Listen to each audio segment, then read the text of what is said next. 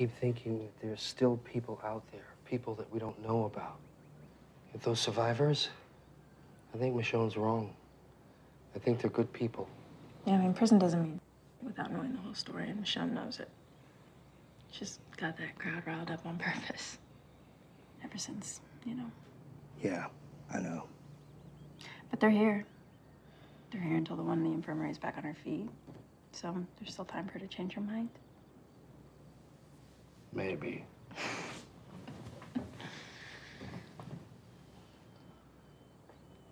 I was talking to Eugene. He thinks that if we went further out mm-hmm. and set up a remote amplifier, we could boost the signal. Yeah, but you know what Michonne's gonna say. Security breach. Yeah, I know.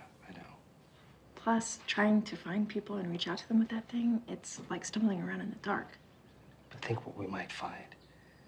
Who we might find. What else might be out there?